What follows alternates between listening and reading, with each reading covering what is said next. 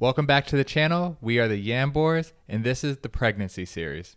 So, we recently had a pregnancy scare, and in this episode of the pregnancy series, we want to share with you the scare that we faced and just the high emotions that were involved with it. So, with that said, Let's talk about it. We're pregnant. We're pregnant. we are having a baby. Woo. there were a lot of emotions involved with that scare that we had, and I'll never forget it. It was during the first trimester, so I was probably about 11 weeks at that time, a little over 11 weeks actually, because it was after our first doctor's visit. right. It was a couple weeks after our doctor's visit. So at that point, I was probably like closer to 13 weeks when it happened, actually. Oh, okay. So that would mean that that's like closer to the, that's like the, for into the first trimester, beginning of the second trimester. Yes. Okay. Yes. So I can't remember exactly, but it was somewhere between that 12, like uh, between the 11 and 13 week range. Yeah. I'll never forget. I went to go use the bathroom in the middle of the night, and I tend to use the bathroom when it's like three in the morning. I know where the bathroom is, so I just go with the lights off because I don't want to wake myself up. Yeah. So I'm, I'm the same way. yeah, so I'll just use the bathroom with the light off. And I was using the bathroom and I went to go, you know, obviously wipe and everything. And I noticed that there was a ton of blood in the toilet. Mm.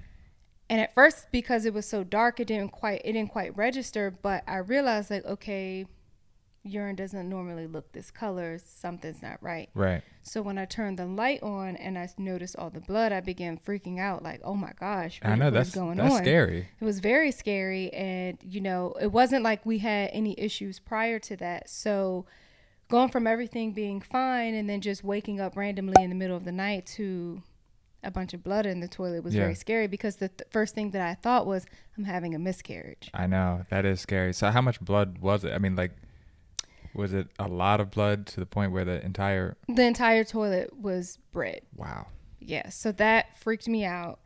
And I remember just trying to calm myself down and just try to get some rest and call the doctor In the immediately in the morning because I knew it was like 3 a.m. I would Right. just call first thing in the morning, just try not to stress myself out, freak out, and think of the worst.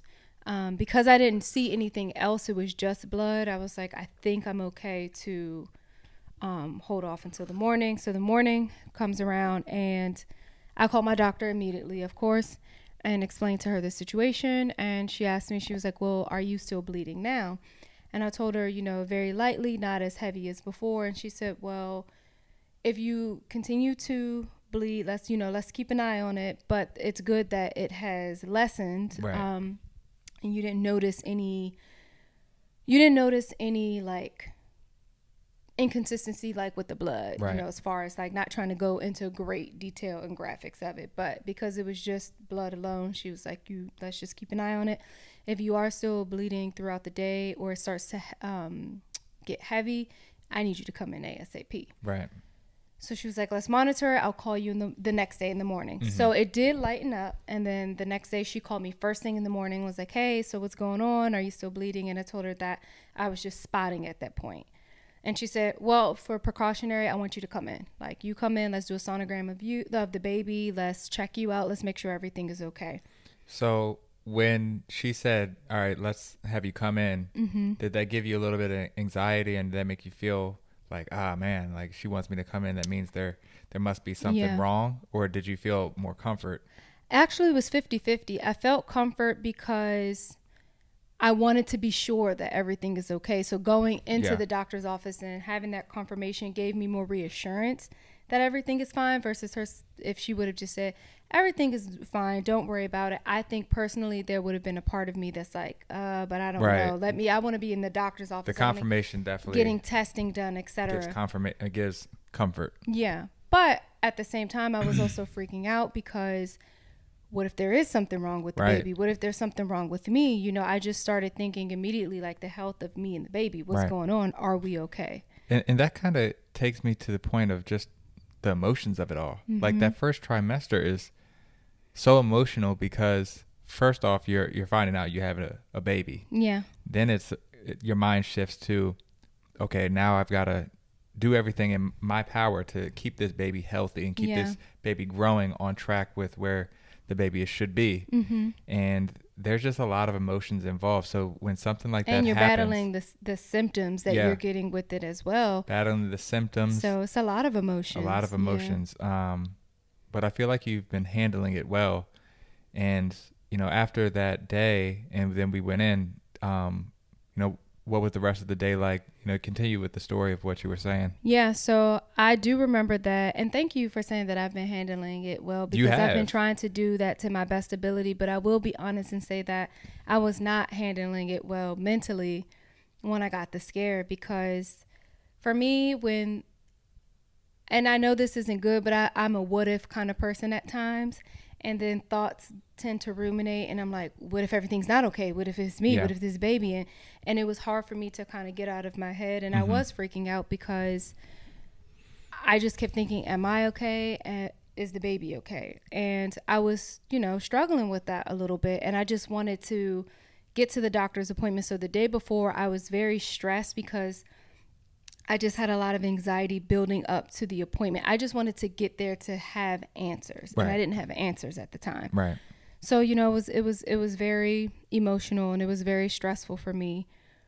But when I got to the doctor's appointment and I realized there were a lot of emotions, and I will say that it was I've personally felt like it was hard for me keeping those emotions at bay that day and leading up to the appointment. Well, that's pretty interesting actually to hear because I feel like you were handling it pretty well. And Mm-hmm. from, you know, the conversations that we had, and obviously I went with you to the appointment, Mm-hmm. um, it seemed like you had your emotions in check and there wasn't, you know, I was trying to keep my emotions in Yeah. check as well to make sure that you are Mhm. okay because I know that, you know, if, if I am Mm-hmm. anxious or if I'm nervous, it's going to make you more nervous. So, it, exactly. so I want to make sure because I'm in the same, we're in the same, we're in the boat together yeah. you know you- you're the one carrying the baby you're doing the hard labor Mhm. but this is also my child too and and you are my little my baby too Yeah. so you know i want to make sure both of you guys are okay Mm-hmm. um so i am going through the emotions as well but i want to make sure you know as the man to like assure you that you're Mhm. okay and that a baby's okay Yeah. and so I was going through it a little bit too inside before we got any results back from the doctor. Mhm. But just making sure that you knew that we're going to get through this and that Right. everything is going to be okay. And I remember us having that conversation, and you said, you know, regardless of the outcome, we're going to get through this together. Mhm. And that was very comforting because you need that reassurance. You need you need to have support. Yeah.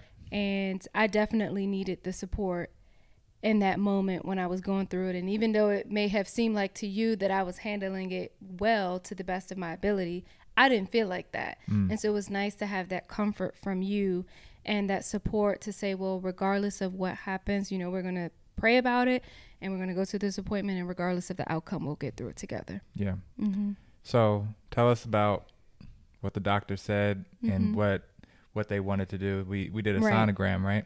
Yep. So we got to the appointment and they immediately did a sonogram to make sure that the baby was doing okay. And they also did some testing. And check on- the heartbeat. Yeah, so they did the sonogram, they did a heartbeat, they checked the heartbeat, and then they also um, did a urine sample for me, and they also did labs as well, just to make sure my levels and everything uh, were okay. So baby heartbeat was nice and strong. Yay! Baby was pushing through. We can say he now. We right? could say he. we could say he. We've we been- did the reveal. we did the reveal. If you haven't seen that video, go check it out. Check But it out for sure. Long story short, we we had the scare, and of course, there's so many emotions to, Mhm.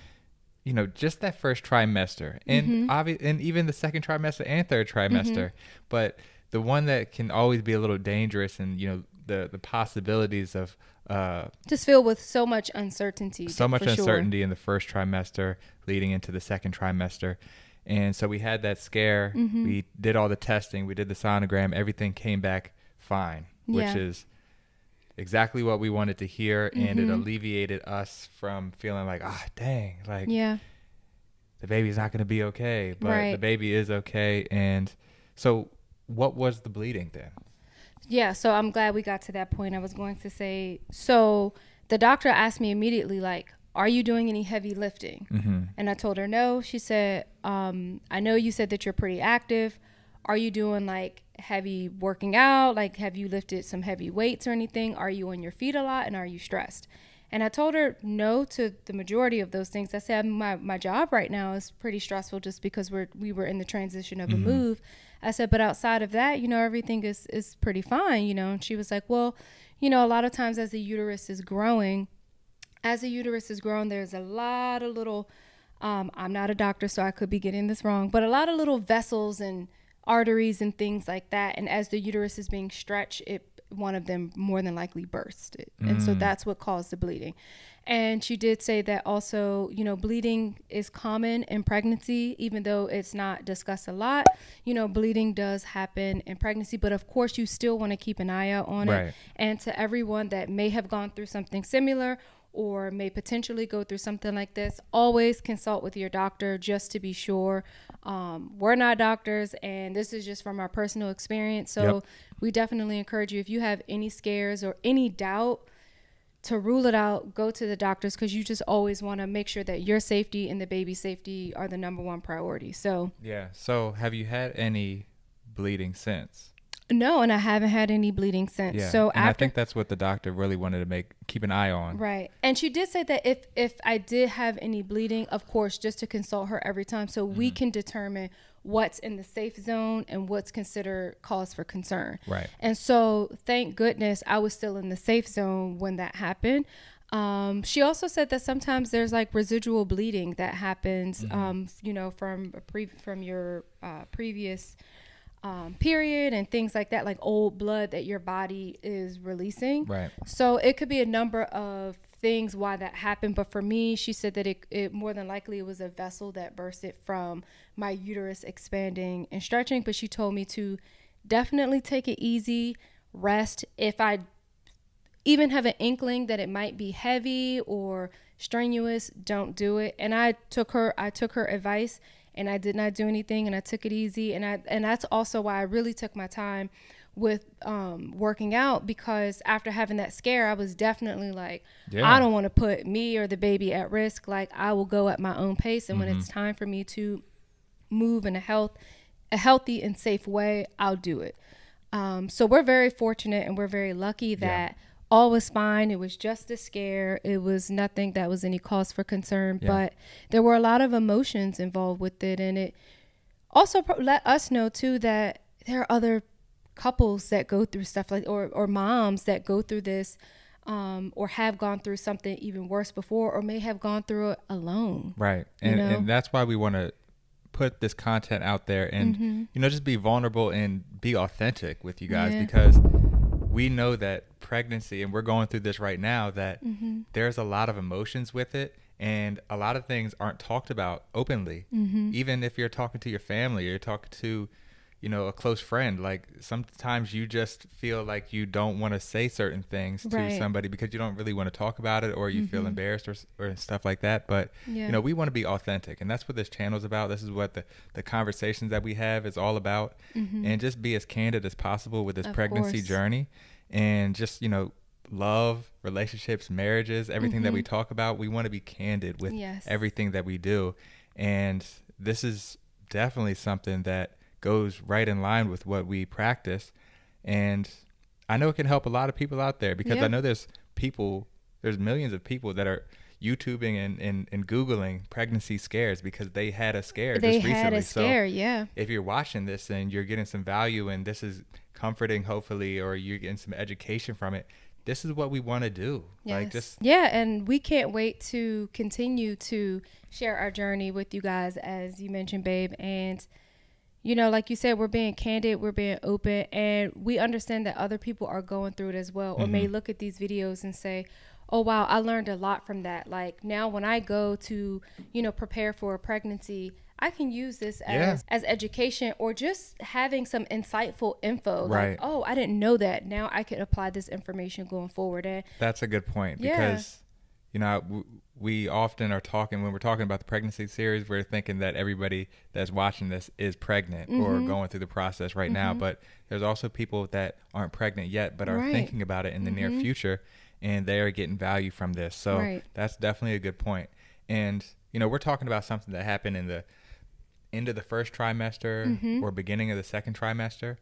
But Yeah, it was The- the, end of the first trimester, I yeah. believe. Yeah. But the reality is we're still going through it. Yeah. You know, there's still emotions that that we have that, you know, th- there's things that are out of our control. yes. We just got to continue to pray and Mhm. and believe that the baby will be okay, do the right things, hmm eat the right things and but at the end of the day the reality is that there's always risk with pregnancy Right. in the first, second and third trimester, Right. even even with the pregnancy itself. hmm Um, so we make this content and it's risky even to just make this content because hey, and you know, anything can happen. Right. Um, but we realize that this is a great opportunity in a unique time in our lives. Mm-hmm. We've been together for 12, 13 years, and this is the first time we are experiencing something like this, Yeah. which is pregnancy that only lasts nine months. Right. So, taking this unique ex- experience that we have in this short window of time and talking about it, talking about the emotions of everything that's going on in the first, second, third trimester into pregnancy, and then even after the baby is born. Yeah. I think it's it's a beautiful thing, and hopefully, we'll be able to show this to our little baby boy, and he'll be able Mhm. to he'll be able to see this years he'll be able to see his journey, you know, he'll and what the what we went through as parents to just prepare him for Mhm. the best life possible.